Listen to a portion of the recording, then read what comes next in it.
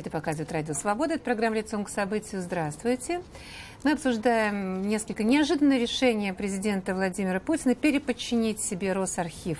К чему бы это? Обсуждаем сегодня с Никитой Петровым. Никита, здравствуйте. Здравствуйте. Никита историк. И, может быть, вот с нами на связи появится Сергей Владимирович Мироненко, экс, экс, экс-лидер, экс-директор Государственного архива. Будем надеяться, что он освободится от сегодняшнего исторического мероприятия и тоже поучаствует с нами в разговоре. И вот я сразу объявляю телефон прямого эфира 8 800 222 12 для вас, уважаемые слушатели, зрители. Пожалуйста, звоните нам и высказывайте свои мнения, для чего Владимиру Путину Путину понадобилось подтянуть к себе вот государственные архивы Российской Федерации. Но Никита сначала все-таки объяснит разницу между Росархивом, Госархивом, потому что есть Федеральное агентство архивное, глава которого встречался с Владимиром Путиным и отдавал ему себя вместе со всем своим хозяйством. Есть Госархив, который входит в Росархив, а что не входит? Ну, во-первых, э, когда мы говорим о Федеральном архивном агентстве, да это была э, до недавнего времени Либо Росархив, структурная, нет, структурная да. часть, часть, которая входила в Министерство культуры. Да. Когда-то в 90-е годы был Российский комитет по делам архивов, он был самостоятельным ведомством. Да. Но тоже подчинялся президенту, он был своего рода как министерство. А сейчас э, ну, в связи систему... с оптимизацией да. государственных расходов и прочими пертурбациями э, понизили статус, включили как агентство в состав угу. Министерства культуры. Угу но внутри, собственно говоря, самого Федерального архивного агентства есть разветвленная и огромная на территории нашей страны сеть архивов. Да. И вот Государственный архив Российской Федерации ГАРФ это одна из крупнейших, крупнейших единиц, которые входят в Федеральное да. архивное агентство. И теперь вся эта сеть раз и перешла под бразды Владимира Путина. Почему-то столько лет они существовали вне президентской длани. Вот, э, и вдруг почему-то перешли туда. Почему это Но случилось не, сейчас? Нет, мы не в курсе давней, я бы сказал, внутренней и серьезной борьбы, когда э, архивное ведомство хотело э, больше самостоятельности. Да. Потому что, в конце концов, это, с одной стороны, Министерство культуры не по профилю, включать угу. в себя архивную сферу. Такого не было никогда до этого. Это, я бы сказал, такая новация. До того пока как не включили, да. Нет, ну это всегда была либо структура при Совете Министров, да. если мы вспоминаем советское время, это всегда была какая-то структура, которая действовала самостоятельно, потому что слишком разные да. задачи, слишком разные да. практики и, собственно, приложение сил по сравнению а потом, с когда э, придумали всю эту заморочку с агентствами, вот ее перевели под подчинение Министерства культуры. Ну, а когда Министерство культуры возглавил Мединский, то там совсем, совсем стало невыносимо ага. Э, архивистам, потому что, в конце концов, архивисты – это все-таки профессиональное сообщество. Да. Это люди, которые занимаются архивами, бумагами, э, для которых все-таки важнее документ исторический и власть факта. Угу. Ну а когда во главе министерства стоит очередной мифотворец, угу. которому миф, легенда, угождающая нынешней власти или нынешней идеологии гораздо важнее, чем исторический факт, вот тут и возникают, собственно говоря, конфликты.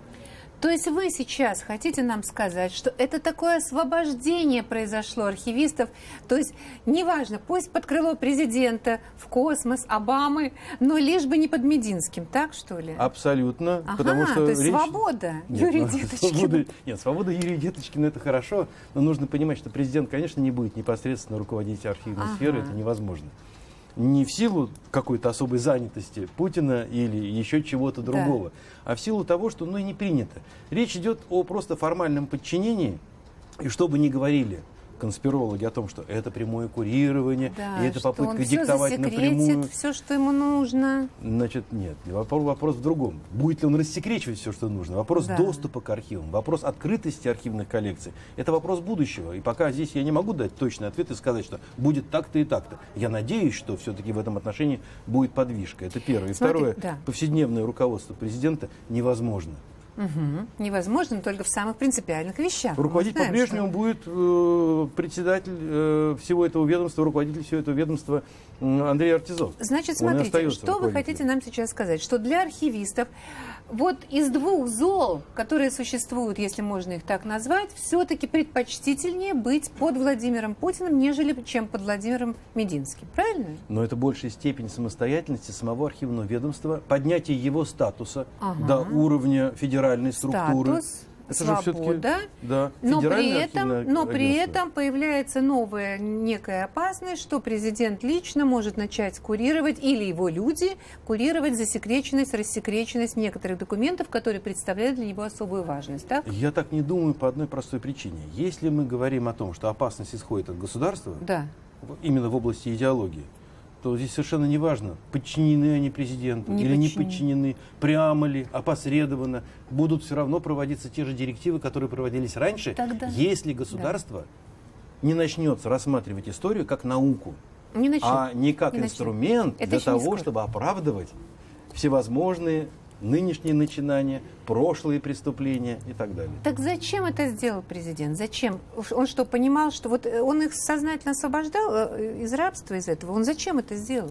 Я могу высказать только да. догадку. Да, догадку, конечно. Догадку принимаем. Да, принимаем, Догадка да. состоит в том, что э, напряженность вот в этих отношениях угу. между идеологизированным министром культуры и ведомством, который все-таки воплощает себе профессионализм, ага. она достигла тех пределов, когда этого уже нельзя было, э, собственно, не замечать или терпеть. И логичнее было бы сделать так для разрешения определенного внутреннего конфликта. Очень интересно. А с нами на связи Сергей Владимирович Мироненко. Сергей Владимирович, здравствуйте. Мы очень рады, что завершилось ваше мероприятие. Вы можете принять участие в нашей передаче, где мы спрашиваем у слушателей, что они и у зрителей, что они думают по поводу переподчинения архива. А вы что скажете? Какова ваша версия? Почему вдруг это случилось? Никогда не был Росархив под президентом. Всякие были у него периоды в жизни. Ну но... что, ну и что? Э, э, когда-то главное архивное управление было при правительстве, при Совете министров СССР. Э, долгие э, годы э, постсоветской истории Федеральная архивная служба, Государственная архивная служба тоже была при правительстве. Потом в ходе административной реформы решили ее подчинить в Министерство культуры. Но это, знаете, решение было, с моей точки зрения, абсолютно неверное, потому что архивы многофункциональные органы. Конечно, это часть национального культурного достояния, но э, любой человек, который оформляет пенсию, знает, что нужно получить архивную справку да, о том, где ты работал, сколько ты работал. И это очень большая социальная функция архивов. Э, кроме этого, есть такое э, скучное дело, как э, документационное э, значит, управление, когда нужно, чтобы бумаги ходили правильно, чтобы они были единообразно оформлены, чтобы они не в значит, беспорядке поступали в архивы, а как-то э, в упорядоченном виде, простите меня за канцеляризм. Таксофилы – это э, много разных у них функций, я только часть э, значит, перечислил. И найти одно ведомство, которое могло бы управлять архивами, чрезвычайно сложно. И опыт подчинения архивов Министерства культуры это только подтвердил. Ну и то, что архивы сейчас э, в э, президентской вертикали, это э, очень сильно поднимает статус архивов. Я могу сказать, когда Государственный архив Российской Федерации Э, стал в структуре Министерства культуры, нам стало очень сложно работать с ведомствами. Э, напомню нашим слушателям, что Государственный архив Российской Федерации комплектуется всеми э, органами высшими законодательной, исполнительной, судебной власти Российской Федерации. И когда мы будем теперь приходить к нашим источникам комплектования, то мы будем приходить как э, э, из президентской вертикали, а не как коллеги к коллегам. Вы понимаете эту э, разницу? Угу. Ну, в общем, я вижу много плюсов, э, которые да. ага. здесь. Теперь, понимаете, меня очень удивил комментарий, например, Юрия Самодурова. Да? Который заявил, что вот сейчас президент подчинил себе архивы, и сейчас тут же э, начнется уничтожение документов. Ну, это полная ерунда. Э, тут э, господин Петров правильно сказал, что архивы и так были подчинены власти государственной, но, поверьте мне, никакого уничтожения архивов и никакого уничтожения документов нет не было и не будет. Нет, ну я тоже, да, спасибо, что вы это сказали. Я тоже не, не сомневаюсь, что их никто не будет физически уничтожать, их просто могут похоронить и не, не, не, не реанимировать, не изгумировать. Вот, вот, вот в этом вопрос. Будут ли рассекречены те документы, которые должны были быть рассекречены? Мы об этом потом поговорим. Я все-таки уточню, Сергей Владимирович, у вас. Вот фактически Никита сейчас выдвинул Петров версию, что надоело президенту уже наблюдать за всеми этими историями и разборками между Минкультурой и Росархивом, и он решил вмешаться и вывести из вот этой вот, э, из вот этой клаки, я не знаю, как сказать, вежливо, ваши архивы. Вы-то чувствуете свою личную роль во всей этой истории? Вы чувствуете, что это в, какой-то, в каком-то смысле и вашу честь и достоинство тут попытались защитить? Э, ну, мою честь и достоинство защищать не надо, оно у меня как было, так и есть. Вот, э, я как-нибудь сам его защищу.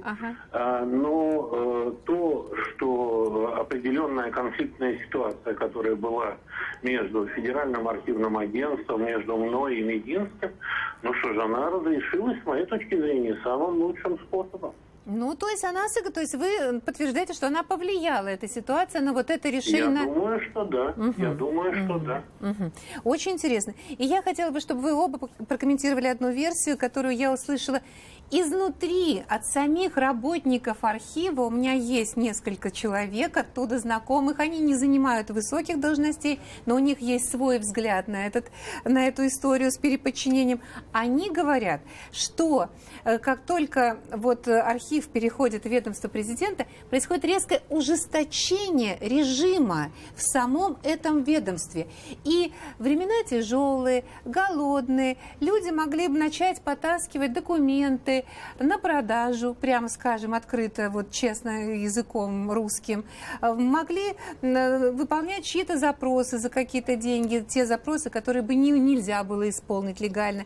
И вот ровно и строго для ужесточения режима, для того, чтобы лишние люди не проникали, а теперь вот поди устройся, вот мне говорят со стороны, раньше это было проще, теперь тебя проверят, отсканируют, потому что президентский архив, вот для того, чтобы ни этот архив не подвергался вот э, угрозе растаскивания, переводят его и делают, меняют ему статус и делают более строгим саму по себе процедуру даже работы в нем. Что скажете, интересно? Ну, Никита, ну, я, что вы я, скажете? Я думаю, что это, скорее всего, выдумки по одной простой причине. Ага. В конце концов, есть строгая и э, заведенная подчиненность государственных органов. Так. Федеральное архивное агентство, оно остается, оно просто получает настоящий свой федеральный статус но это вовсе не значит, что это часть президентской администрации или Федеральной службы охраны, где действительно есть требования к приему на работу, увольнению с работы и поведению на работе. Я думаю, что в этом смысле мало что меняется. Если нужно было закручивать гайки в архивах, их и так закручивали в течение нулевых годов. И это все мы видели. Угу. И мы видели, как сокращается доступ к тем документам, которые раньше давались. Это все понятно. И потом, Слушайте, были 90-е годы, которые у нас рисуют так демонически и э, как некие годы разрушения. Вот уж, казалось бы, э, тащи, воруй и продавай. Но ведь mm-hmm. ничего же этого не происходило. Mm-hmm. Архивные коллекции, в конце концов, в целости дошли до сегодняшнего времени. А что сегодня такого особенного происходит, я понимаю, сложные времена, материально сложнее, но вовсе меньше искушений, чем в те 90-е годы, когда архивисты, как профессиональное сообщество, не поддались этим искушениям. Угу. А вы, Сергей Владимирович, видите хоть какое-то рациональное зерно вот в этой версии? Алло, вы знаете, я э, полностью согласен с тем, что сказал Никита Петров. Угу. Эта версия, ну, абсолютно, знаете, выдумана, высосана из пальца. Угу. И какие основания у людей, которые вам это говорили, это их домыслы, понимаете? Да. И принимать Э, домыслы за истину, но это просто, э, с моей точки зрения, очень глупо. Угу. Так что вы меня простите, да, не я будем... должен уже идти. Да, да, мы хорошо, мы, да. мы, мы поняли, что совершенно не, вы не принимаете эту версию. Спасибо вам большое Нет. за участие в этом разговоре, что да. вы нам объяснили, да. как обстояли дела. Мы вот прощаемся с Сергеем Владимировичем, продолжаем разговор с Никитой. И я хочу вас вот о чем спросить. Теперь мы переходим вот к этому моменту засекреченность, рассекреченность. Вы знаете, это же не мои слова по поводу Владимира Путина и его кураторства. Вот есть такая газета «Комсомольская правда». Так. Она вполне прогосударственная. И вот смотрите, я вот читаю под заголовочек «Теперь Росархив будет рассекречивать документы под патронажем лично президента». Вот это вот она так пишет. Она это так трактует. Стиль, это стиль газеты, которая давно отличалась желтизной, изрядной причем, независимо от того, про президентская она угу. или нет. Но это не очень в пользу. Ну, это придумано. Ну что, больше нечем заняться президентом? Я могу одно сказать, что вообще-то говоря, ситуация с рассекречиванием архивных документов у нас сейчас сложилась такая, что она недостойна цивилизованного и правового государства. Это абсолютно точно. Если нужно действительно дать, что называется, некий импульс в этом направлении, то, конечно, самостоятельный статус Федерального архивного агентства и возможность выхода напрямую на, на главу государства, это может помочь, кстати говоря, в раскрытии э, и снятии грифов. Угу. Захочет ли президент, это первое. У нас же президента центричная страна. Мы прекрасно знаем, пока там, в Кремле, что-то не скажут, на местах, в общем, мало что делают. И э, если у архивного агентства есть желание действительно не черепашьим шагом, не забюрократи... забюрократизированные процедуры открывать вот все эти архивные коллекции, а действительно сделать решительные шаги, чтобы большинство документов, большинство, которые были созданы свыше 30 лет назад, были открыты, то это надо делать немедленно. И нужно принимать кардинальные шаги, а не рассматривать каждый документ группы экспертов, которые полагаются на свои представления, на свои вкусы. И в этом смысле типичная вкусовщина. А вот это не надо открывать. А вот это вот на сейчас такие документы секретятся, поэтому и за 30-е годы они останутся секретными. В фонде Сталина, который умер более 60 лет назад, есть важнейшие документы, которые до сих пор носят гриф секретности. Разве это нормально? Для цивилизованного государства нет. Но это же противоречит и нашим законам. Ладно бы, если бы речь шла о том, что мы хотим что-то сверх закона. Мы хотим, чтобы закон выполнялся. Да. А в законе четко сказано. О 30 годах. Свыше 30 лет да. рассекречивается, то есть срок засекречивания 30 лет, и только в исключительных случаях продлевается. Посмотрите, как продлевается этот срок чохом и одним махом для многих архивных документов. То есть исключение сделали правилом и продлевают как правило, а реже рассекречивают. Если мы посмотрим, сколько документов рассекречено в ведомственных архивах, речь, речь идет не только о государственных, за ведомственные архивы в той или иной степени, пусть опосредованно, но Росархив тоже отвечает. Они там на депозитарном хранении, но эти документы недоступны вообще исследователям. И там нет цивилизованной формы использования этих документов. Вы не получите справочный аппарат, придя в архив МВД.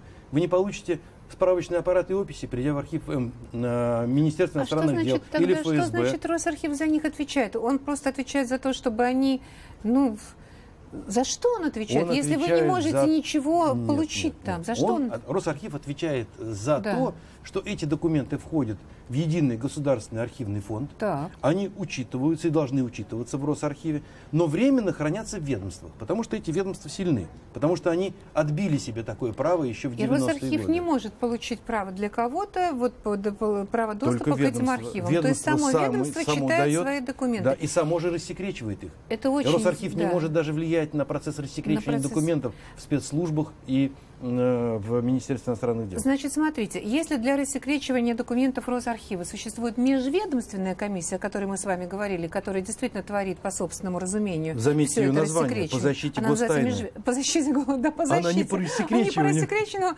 по, по, да, да, да, по защите гостайны. Но, тем не менее, вот да, это парадокс, что она занимается рассекречиванием, защищая при этом гостайну. Так вот рассекречивать, чтобы ни в коем случае не нарушить тайну. То, то получается, что вот в самих ведомствах не подпускают других специалистов, других ведомств к рассекречиванию собственных архивов. Нет, так? ну, есть... во-первых, они э, законом, федеральным законом наделены правом присваивать гриф секретности и его снимать. Сами. С одной стороны, без, это... экс... без внешней экспертной да, оценки. С одной стороны, совершенно. это хорошо, потому что Почему? внешняя экспертная оценка здесь и не нужна. Но здесь нужен внешний контроль. Да, ну хотя бы. Здесь да. нужен внешний контроль, здесь нужны планы нет. по рассекречиванию, здесь нужно соблюдение законодательства в области рассекречивания. Но оно же не соблюдается. Если мы спросим, сколько, опять же, в процентах рассекречено, мы увидим, что меньше, чем остается секретным. А какой, собственно говоря, срок хранения этих документов? Сколько они уже лежат? А они уже лежат многие десятилетия, а вовсе не 30 последних лет. Вы хотите сказать, что никто не влияет, ну, в итоге, в итоге они никак не могут повлиять, вот эти вот выше, вышестоящие организации, как бы они ни подчинялись теперь президенту, они не могут повлиять на архивы ФСБ, например. Никак. Нет, они... То есть ведомство если, творит, если, что нет, хочет. Если посмотреть на их нынешний статус, что он поднят до федерального уровня, да. то в принципе, так как они отвечают за общее состояние дел э, документов да. архивного фонда Российской Федерации, они вправе поставить вопрос о передаче рассекреченных в ведомстве документов на государственное хранение. Они вправе поставить вопрос о наличии планов по выполнению закона о государственной тайне, где четко сказано про 30-летний срок для э, документов обычных и 50-летний срок для документов разведки. Так они не могут этого сделать, потому что ведомство им скажет, вы на себя посмотрите. У вас же то же самое, у вас же нет автоматического снятия грифа по истечении 30 лет. Нету. А Нету. ведомство, Росархив, скажет, а вы на себя посмотрите, вы нам присылаете экспертов. Да. И эти эксперты нам большую часть засекречивают, вот. продлевают секретность. Ровно Разве так это же, нормально? То есть они поступают да. по, по той же схеме, по которой да. ведут себя в своем ведомстве. Почему они должны измениться, придя в межведомственную комиссию Наоборот, вот этого архива? они как раз приходя в качестве экспертов в архив, Государственный архив Российской Федерации, например, или в бывшие партийные архивы, они там себя ведут со своими ведомственными представлениями, как люди, которые как раз следят за тем, как бы что ни вышло лишнее наружу. То есть у них охранительный синдром, разумеется, важнее всякого, я не знаю, там, научно-исследовательского или, э, не знаю, позыва следовать закону, а не собственного представления о том, что хорошо, что плохо. Все-таки, если вот еще раз, э, учтя и держа в голове все, что вы сказали о, о, о тех формах контроля, которые существуют у Росархива над ведомствами, над ведомствами все-таки мы должны признаться самим себе, что если есть некий документ в архивах ФСБ, который с точки зрения Росархива должен быть рассекречен, они не могут повлиять на то, чтобы этот документ был рассекречен. Не могут. Нет, почему? Они, они могут заставить они... их они могут, нет, заставить не могут, не но могут, могут сделать, сделать соответствующий запрос ну, и э, а ходатайствовать скажут, об этом. Да хорошо, а, а им говорят нет. Ну, и? дело в том, что в данном случае по отношению к документу, который хранится в спецслужбах, у Росархива, собственно говоря, такие же права, как у рядового российского гражданина. Любой рядовой российский гражданин может прийти и попросить. Да. Рассекретите мне этот документ, можешь, потому что вышел срок. Нет, попросить-то может. Да. Но ему могут пойти навстречу, а могут отказать. Но в случае отказа гражданин это может оспорить в суде. Но практика показывает, и мы эту практику имеем довольно-таки богатую, что суд всегда становится на сторону государства. Это просто прекрасно. И все дела, да. которые мы вели даже на уровне Верховного суда, проиграны. И вот, скажем, историк-исследователь Сергей Прудовский, который добивается рассекречивания документов, он даже показывает, что эти документы уже не секретны, они уже опубликованы в сопредельных с нами странах, например, э, по результатам открытия украинских архивов. А ему говорят, а это не основание у нас для рассекречивания. Но тогда возникает вопрос, понимаете, извращается само понятие государственной тайны. Ведь что есть государственная ну, тайна? Есть единственный критерий. с теми же панфиловцами знаменитыми, Нет, с, этим, мы сейчас с, с этим же прокурором. Нет, к панфиловцам перейдем. Да. А, значит, хотя там первый вопрос был, рассекречена ли это справка, так, которую да Сергей Владимирович дело, обнародовал, на, на сайте. Да, а потом она, она, и она потом была рассекречена? Нет, она была рассекречена в свое время, потому что это публикация на сайте, на сайте она не первая. Не первая. Публиковался у них, Нет, но у них, у них-то она первая Знаете, была. Есть один единственный критерий – почему тот или иной документ содержит или не содержит государственную тайну. Что есть государственная тайна по закону да. о гостайне?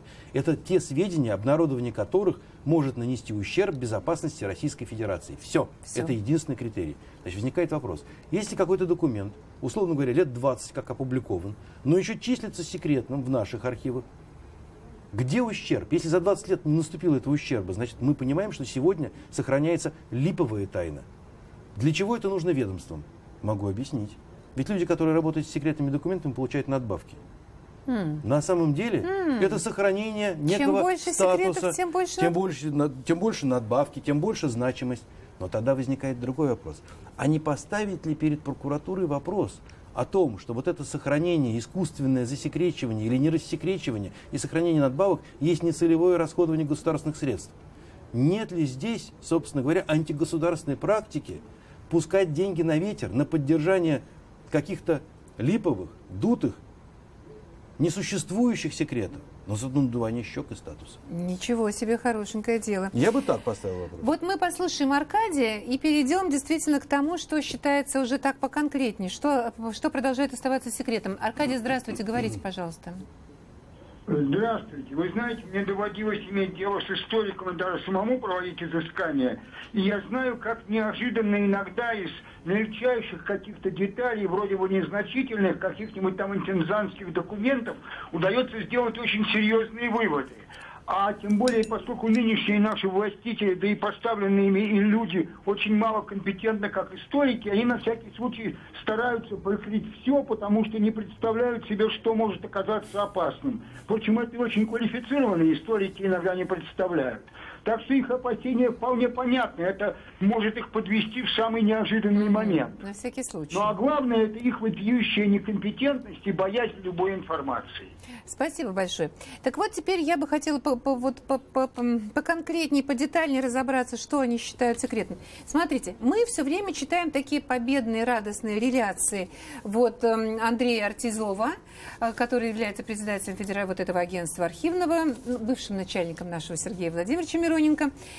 Он, то есть он сейчас начальник, он но тогда он, начальник. он и сейчас начальник, но сейчас он как бы уже ступенька другая немножко. Там, ну, вы там сказать, он был больше прямой. начальник, да, чем вчера уже, начальник. Да, да, совершенно верно. Ну, расстояние между ними теперь больше, чем было раньше. Нет, наоборот. Расстояние между Сергеем Владимировичем Мироненко да. и э, Андреем Артизовым не изменилось.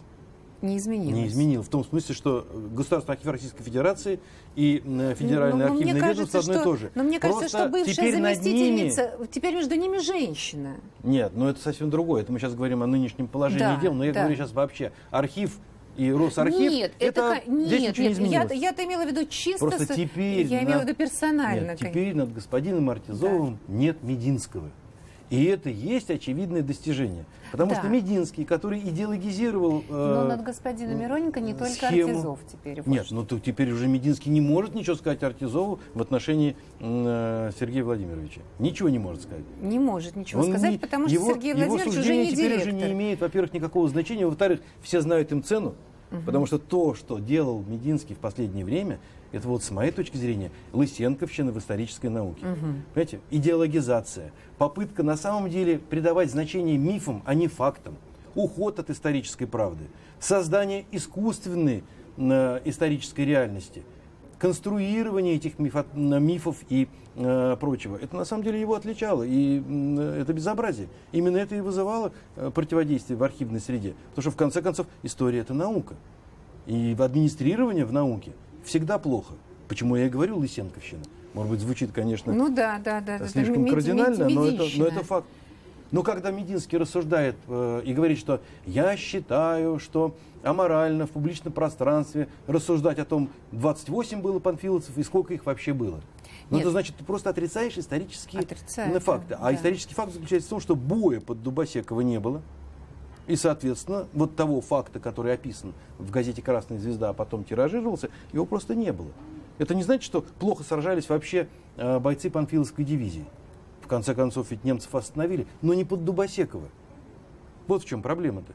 Нельзя было этот факт э, делать основой я бы сказал, культурной политики Министерства культуры или исторической политики То Министерства есть, культуры. Да, ну, даже когда он был сделан, не надо было держаться за эту ложь. Так до сих пор держатся и гордятся тем, что пустили э, огромные деньги на съемку фильма. Да, и еще и человека уволили который называл это фальсификациями, и Мединского особенно оскорбило слово фальсификация из его уст. Он сказал, что архивист не должен вообще слов таких знать. Фальсификация, он должен документы показывать не на стол. Это странное впечатление. А оценивать он не может Нет, это странное документы. впечатление об архивном деле. Архивист, ведь он, конечно, с одной стороны, его главная задача хранитель, но с другой стороны, для чего он хранит?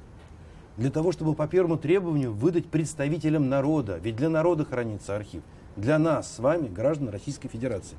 Мы именно есть главные пользователи архива. А не министерство, которое решает, это показывать, это не показывать. Здесь ты комментируешь, здесь ты не комментируешь. Это даже унизительно было слышать такие вещи. Да. Ну так вот, что я хочу сказать, что тут все время происходит такое противоречие. Артизов все время называет такие цифры.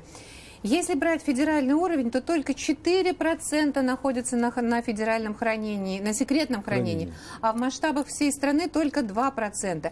И А, а потом историк за историком, э, архивист за архивистом говорят, нет, больше, гораздо больше. Даже если чисто количественно, вот корреспондент коммерсанта проводил вот исследование, он говорит, что там просто даже если по количеству вбивать в поиск, он объясняет процедуру, как он это делал, методику, там 13% как минимум, то есть никаких там 2% нет.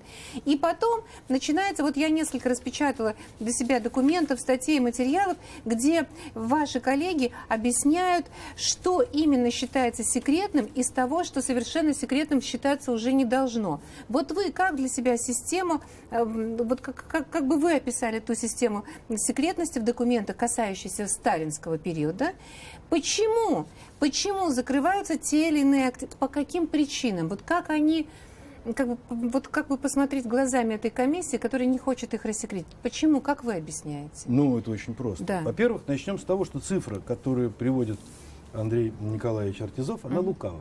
Да. Но, понимаете, нельзя здесь считать э, в процентах. Да, действительно, я могу согласиться. Вчера он говорил про 5%, угу. сегодня он говорит про 4%. Угу. Даже если мы с вами скажем, что эти цифры достаточно точны, мы ведь говорим о количестве, но не о качестве. А какие документы закрыты? И вдруг выясняется, закрыты рабочие записи Политбюро, закрыта переписка Сталина с МГБ, закрыты приказы Верховного Главнокомандующего Сталина, которые были сделаны в годы войны. Это что такое? Это же самое главное, это же центровые документы, говоря простым языком. Значит, получается, что вам могут сказать, вам доступно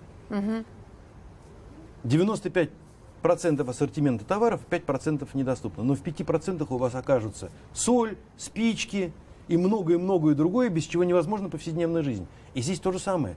В этих 5% оказываются те документы, которые ключевые для понимания советской истории, которые ключевые для понимания, в том числе и тех репрессивных акций, которые совершило советское государство, и тех преступлений, которые совершило государство по отношению к гражданам. И когда мы говорим, как рассекречиваются документы, мы говорим слово вкусовщина. А что это за вкус? Вот я а и хочу вкус... логику вкуса да, вот а этого. логика вкуса да. очень простая. Да. Не рассекречиваются документы о дурном поведении Красной Армии в 1945 году в странах Восточной Европы. Угу. Не рассекречивается ряд документов, которые свидетельствуют о насильственной советизации Восточной Европы. Не рассекречиваются документы, которые связаны с индивидуальными убийствами а также поддержкой террористических движений по всему миру. Это документы внешней и политики. И разного рода договоренностях России, Советского Союза и Германии, которые Нет, но здесь как раз, это, это как раз и рассекречено было тогда, потому что к этому было такое внимание общественности, что вот секретный протокол к пакту Молотова-Риббентропа, не, не пакт, он вот был я, я, я помню, что по Индии и по Великобритании там mm. все-таки... Нет, был... Индия и Великобритания да. другое дело. Вот, вот, вот этот момент возьмем... еще существует. Нет, но если мы возьмем вообще те договоры, которые были совершены с э, зарубежными странами, то здесь, конечно, многое остается того, что называется для России внешнеполитический секрет. А почему так? А почему? Потому что Россия да, чувствует почему? и выводит свою легитимность из советского периода. Следовательно, она не хочет выглядеть в глазах всего мира нецивилизованной, э, страной, которая подвержена интриганской политике или подловатой политике. Все было. Все эти значит, подлости в отношении с другими странами были. И то как поддерживались сепаратистские движения. Имидж. То есть сегодняшняя Россия озабочена тем имиджем Советского Союза, да. старым, который да. сегодня бросит, да. может бросить да. на нее генетическую тень. Да. Ну, если вы вспомним, эта политика ведь началась не вчера, она началась позавчера. Еще в середине 90-х годов официальные представители МИДа который уже возглавлял не Козырев, а, скажем, те, кто пришел ему на смену, по-моему, но уже четко говорили, что нам, для нас неприемлема э, поддержка тезиса о равной ответственности за развязывание Второй мировой войны СССР и Германии. Все. И вот это противопоставление, что СССР, конечно, много чего плохого сделал, но он не такой, как вот совсем уже нацистская Германия. Это не сегодня болезненный не вопрос. Подлый, почему, подлый. да, почему, собственно, сегодня носится с идеей, что непременно нужно принять закон, запрещающий сравнение СССР и Германии? Это же абсурд. Сравнение сталинского режима и гитлеровского – это инструмент для историка, для понимания природы того и другого. Это же не одинаковые сущности. Но для того, чтобы понять, любой ученый занимается анализом, сравнением, изучает истоки тех или иных э, событий и э, исторических э, случаев. Так что я, я вообще вижу здесь какой-то обскурантизм и борьбу нынешней идеологической, я бы сказал, э, государственной сферы с историей. Хотя у нас официальной идеологии в стране нет. У нас ведь официально по Конституции она даже запрещена. Да, но это, это Обязательно для всех государственная идеология запрещена Российской Конституцией. А сколько мы слышим постоянно вокруг трескотни, в том числе из Государственной Думы, что нам эта идеология обязательно нужна. Нам нужно единомыслие, считают они. То есть если мы сейчас проанализируем фактически каждый документ или главный из тех документов, которые засекречены, мы вычленим вот эту линию, что в каждом из них мы почувствуем некий репутационный урон, который мог бы быть нанесен публикацией этого документа Безусловно. с точки зрения вот этих ведом, межведомственных Безусловно. людей. Ну потому что эти документы содержат чаще всего политические секреты. А политические секреты с точки зрения российского законодательства устаревают через 30 лет. А вот в головах нынешних рассекречивателей, которые должны прийти и дать свою визу, они не устаревают никогда. Мы сейчас посмотрим, что отвечали прохожие на улицах Москвы на вопрос, почему не, не рассекречиваются документы, которые, казалось бы, уже пора давно и даже по закону. Почему государство засекречивает архивы сталинских времен и времен войны? А почему государство э, не рассекречивает архивы э, террора красного, э, револю, революции первой, первой Великой Отечественной войны того 14 -го года? Вот что надо рассекречивать. Там такое, там такие ужасы, что и война, и все остальное сейчас покажется э, детским лепетом. Значит, есть что скрывать, что не полезно народу знать. Потому что все они подонки. Поэтому они все делают, что хотят, то и воротят. Я так и по жизни думаю, что если бы можно было все в открытую делать, так бы и делали. Значит, цель какая-то есть. Какая цель? Ну, если моя точка зрения, так я всегда так думаю, чтобы народ меньше знал. А каким путем это достигается, это сами понимаете, только можно засекретить. Мы уже видели, как горели архивы, вот, и это неспроста, на мой взгляд. Вот, поэтому к этому делу надо отнестись серьезно. Я считаю, что сделано это правильно. Когда человек знает реальную правду, а, она может очень сильно напугать.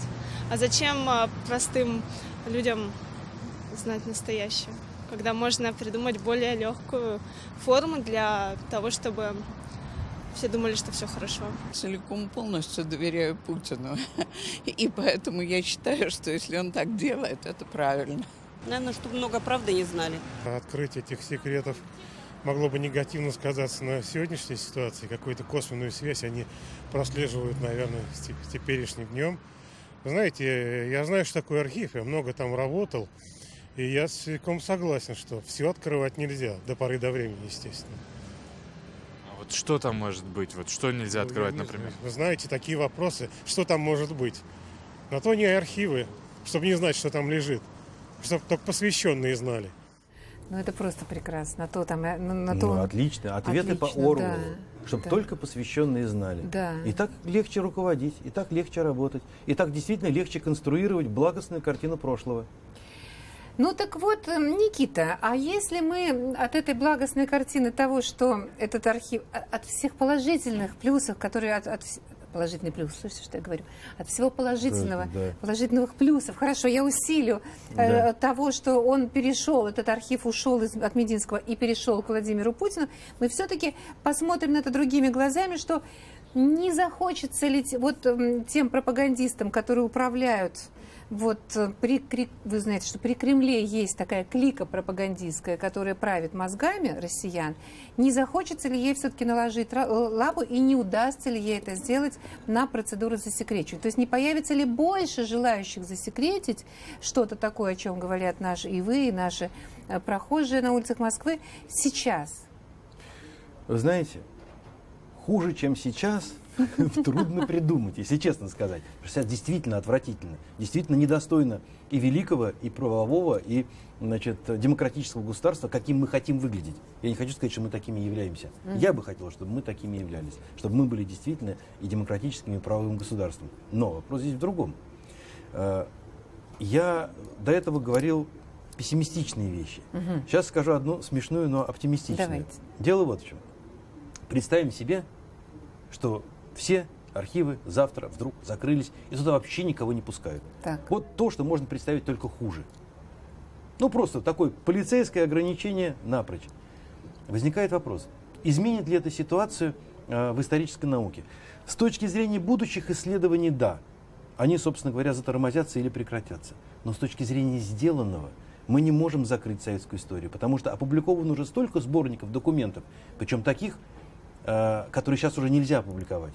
Но в 90-е годы они были опубликованы. Публиковалось очень много именно сборников документов на самые разные темы. И по большому террору, и по репрессиям. Все есть. Значит, возникает вопрос, а куда это девать? То есть дальше только не архивы закрывать, а закрывать вообще публичное пространство и вводить цензуру.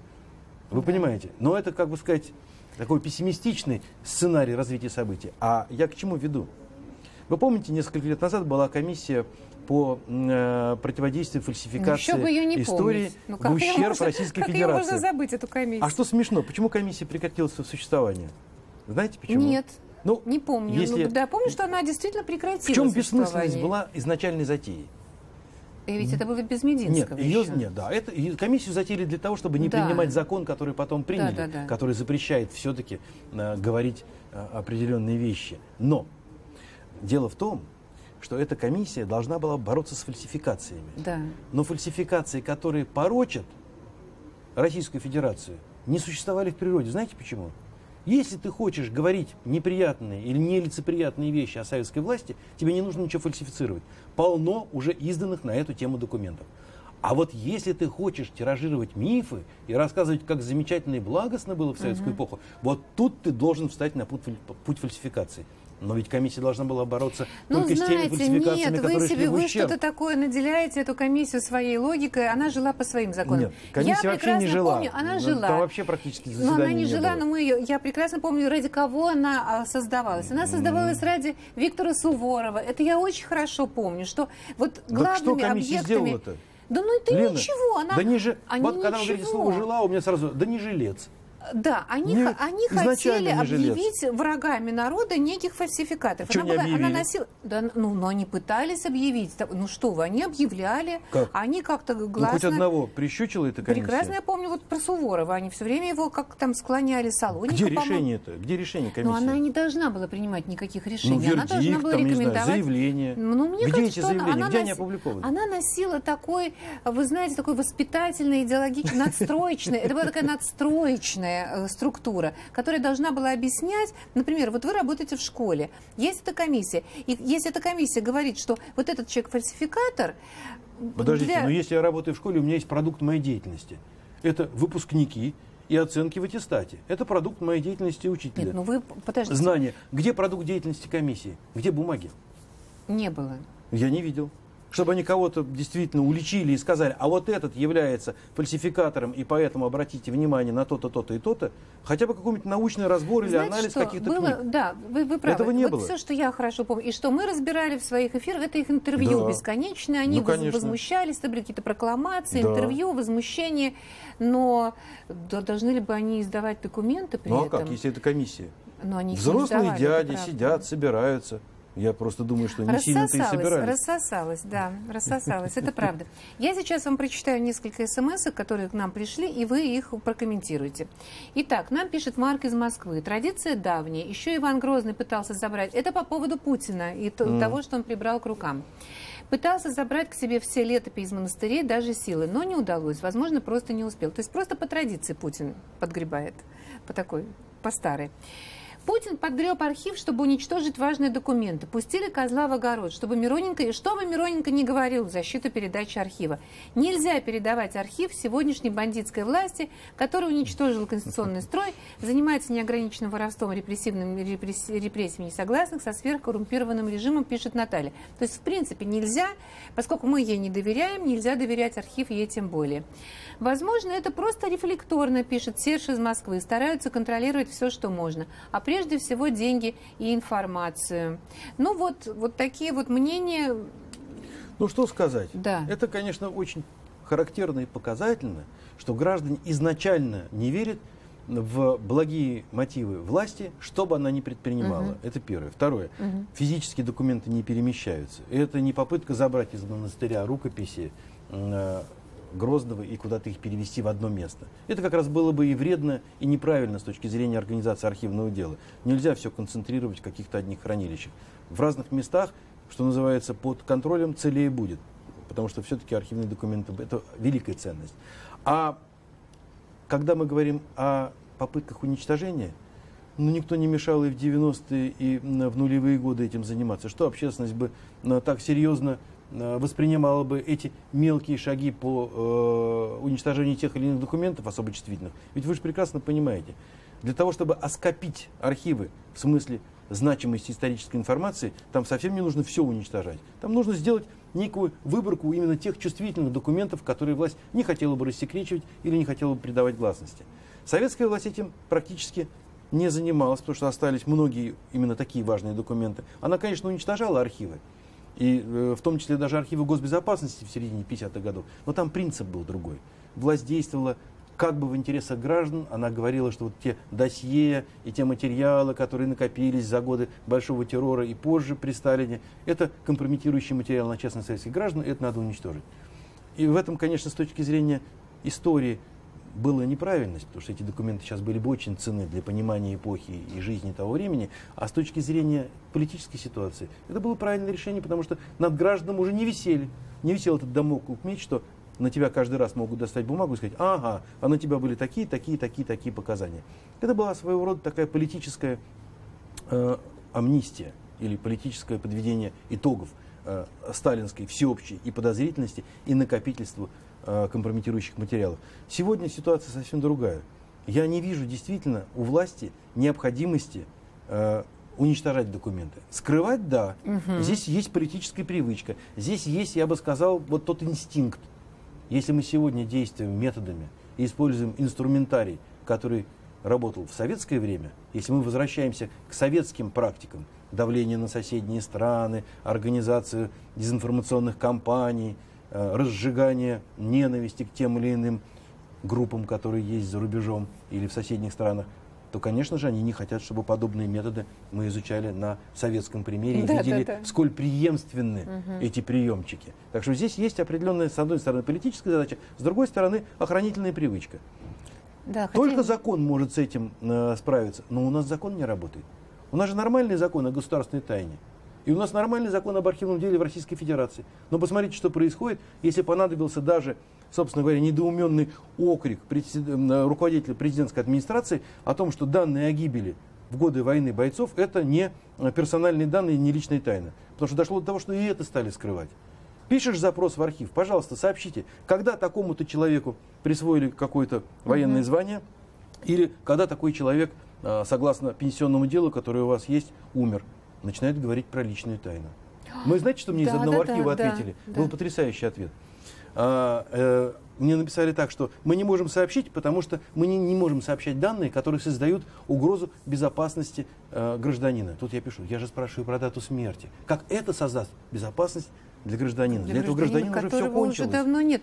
А Слушайте, а персональные данные, когда говорят, да. что мы не можем сообщить дату смерти, это персональные данные, тогда почему же люди на кладбищах пишут на могилах имена и фамилии? Да, да, открыто совершенно не, не Но, подписано. Понимаете, наше э, архивное ведомство и э, Росархив, и ведомственные архивы, они докатились до абсурда. Они не докатились до абсурда. Смотрите, если они видят вокруг себя, они же живут вот в этой атмосфере, если они видят вокруг себя вот эту тенденцию скрывать потери, те потери, эти потери, это же общее ли? Вот скрывать потери, вы же видите, что происходит там с Сирией, с Донбассом, там когда-то с Афганистаном. Это же в, в логике государства. Им совершенно все равно, что это потери были там столько-то лет назад, или, или еще 30, или 40, или 50. В логике. Просто вот сегодня мы потери скрываем. Сегодня у нас такая тенденция. Поэтому мы на всякий случай не будем оглашать ну, под предлогом защиты э, вот этих данных. Я могу сказать, что отчасти подозрения граждан, конечно, оправданы, потому что в конце концов подписаны, по-моему, в прошлом прошлом году указ президента о том, что теперь государственная тайна, это вот потери э, войск да. в ходе каких-то спецопераций, да. это, конечно, очень дурной знак. Это действительно дурной знак и обществу, и э, историкам. Почему? Потому что получается, что президент э, оказывается в России не от нас с вами, не от граждан, которые вправе знать. Ведь мы являемся хозяевами страны, а президент есть нанятый нами на работу чиновник. Но выясняется, что на самом деле он лучше знает. И как люди рассуждали сейчас на улицах, вы расслышали? Ну, им ему лучше. Виднее. Ему виднее, ему им виднее. лучше. Пусть они вот делают так, как правильно. Они знают за меня, ну, мы опять скатываемся в советское время, Раз когда за меня сделал, решали, значит, это что мне читать, что мне смотреть, куда мне ходить, ездить мне за рубеж или не ездить. Советская власть была как всеобщая нянька. Она говорила, я знаю, что тебе лучше. Тебе сегодня лучше рыбный день сделать. Зачем тебе сегодня мясо? И, и лучше знают, что вам, как историку, использовать в своей книге. Разумеется. Но опять же, возвращаясь к Мединскому и э, к Лысенковщине в исторической да. науке, но вот это и есть, собственно говоря, а прямое мы, воплощение. А мы представляем себе исторические книги, которые пишет сам Мединский, мы представляем себе все это. Ну, если говорить о том, как он раскритиковал всех этих путешественников, визитеров еще в ту царскую Россию, он же лучше знает, как жили в царской ну, России. Конечно. Мало ли, что они там в своих книгах понаписали. Но это, конечно, подход был потрясающий с точки зрения э, отношения к историческому источнику. Ну, Такой вот... критики исторического источника никто не ожидал. Конечно. Критика с идеологической стороны сказал, ну, рассказывайте нам, господа с Запада, угу. что у вас как там, там при Николае Павловиче да. было. Мы-то лучше знаем. Ну вот он, и, он, он примерно смотрит на эти документы своими глазами. Стал бы я использовать такое в своей книге? Нет, значит, и вам не нужно. А почему за меня решают? Ну, потому что вы живете в такое я, конечно, советское... Могу, я, конечно, могу написать что-то такое, что вызовет неприятие или скажут, что нет, мы готовы поспорить. Но только в дискуссии, в споре и именно в условиях доступа всех к этим же документам и рождается историческое знание. Астизов говорит, что почему, что еще остается закрыто? А, закрыто документы, связанные с разведкой, с обеспечением безопасности страны, вопросы, связанные с производством оружия. Есть международная деятельность. Те или иные решения, которые принимались представителями государств мира и по взаимным договоренностям, на долгое время закрыты, говорит он. И при этом вот э, говорят люди, которые вот пытаются найти и пытаются в, использовать в своих работах какие-то документы, говорят, что совершенно, во-первых, гораздо шире круг этого ну, закрытого. Во-вторых, под понятие личной тайны попадают вещи, связанные с, ну, с тем же Иосифом Сталиным, ну, например, там, э, там заметки на полях, его приказов или переписка с военачальником. Это все лично. Если это их личная переписка, значит, это составляет персональную тайну. Значит, возникает вопрос. Вообще-то Сталин, когда все эти вещи писал, когда мы говорим о заметке на полях, он получал в этот момент зарплату или нет? Это государственные бумаги или это его личные письма? Я понимаю, когда человек сдает свои личные письма и личную литературную коллекцию э, в Аргали, э, в архив литературы и искусства, он может накладывать э, какие-то ограничения на использование, потому что это его личные документы. Но госдеятели не являются в данном случае частным лицом. Это то, что осуществляется во имя государства и на государственные средства и оплачено налогоплательщикам. Так что в данном случае просто какой-то абсурд считать это э, личным творчеством. Но мы с вами уже представляем, опять же, по логике того, что вы говорите, что эти, вот, вот эта заметка на полях, которая закрыта сегодня от исследователя, она, скорее всего, порочит честь и достоинство Иосифа ну, Сталина. Чаще всего так. Чаще, чаще всего, всего так, так, и поэтому она не должна быть представлена широким массам для того, чтобы не подрывать светлый облик в, в генералиссимуса, в его ну, общество что смешно, глазах. Елена, что смешно? На самом деле столько документов уже опубликовано, которые не просто подрывают светлый облик, а показывают его преступникам. Когда он подменял правосудие и на, на списках на расстрел сам писал «бить-бить», да. или подождать, или немедленно арестовать, или всех означенных в списке расстрелять. Он сам являлся, что называется, человеком, отправляющим правосудие, тогда как существовала судебная власть. Он сам нарушал ту конституцию на той страны, которой руководил. Так что в данном случае уже вот все эти нынешние укрывания чего-то еще мелкого, они и смешны. Почему я и говорю, что здесь-то я исторический оптимист. Ведь этого уже пласта документов, которые уже издан, не закроешь. Он уже существует доподлинно и неопровержимо. То есть мы все-таки можем говорить, что они руководствуются своей какой-то очень субъективной и местами извращенной логикой, потому что вполне возможно для этих людей то, о чем вы сейчас сказали, это не, это не такой криминал, как какая-нибудь ехидная там, заметочка в адрес своего коллеги, брошенная им. То есть они, по они смотрят под своим углом зрения и определяют, криминал или нет ну, Только разумеется. исходя из своей личной испорченности. Нет, ну это не, это не это ложно понятый государственный интерес. Это тоже сидит как вот какой-то я знаю, э, конструкт в голове. Вот они так понимают государственный интерес, не открывать. Они лучше будут выглядеть охранителями, и они даже иногда гордятся этим. Говорят, что я не либерал, я-то вот понимаю. А нежели признают абсурдность той ситуации, когда они э, закрывают то, что уже давно многим известно. Никита, ну вот скажите, пожалуйста, вот, вот тем не менее работа, мы с вами все время, по сути, мы с вами обсуждаем одно и то же, работу межведомственной комиссии, которая каждый год должна что-то рассекречить по какому-то графику, но, она этого не, не, не все но успевает, она не в состоянии даже не, справиться не в состоянии справиться, не все, а там же у них правило, пока она не поставит гал, свою галочку, ну, да. он же не рассекречит, а там же должно быть на каждый документ ходатайство, на каждый документ заключение, то есть там да, действительно колоссальная да, работа, да, с которой они да, физически да, не справляются. Да. Вместо того, чтобы автоматически все снять через 30 лет, они занимаются вот этой ерундой. Они автоматом ничего не снимается, а начинается вот это вот Но ну бюрократическое... Вот здесь, здесь я могу сказать, что вот прямое подчинение президенту, если будет политическая вот, воля, вот вот и, и будет спросить. выработан определенный механизм, что, скажем, для документов уровня политбюро, мы должны вот по такой-то год все действительно открыть, понимая, что там практически нечего скрывать. Мы завершаем на этом программу «Лицом к событию».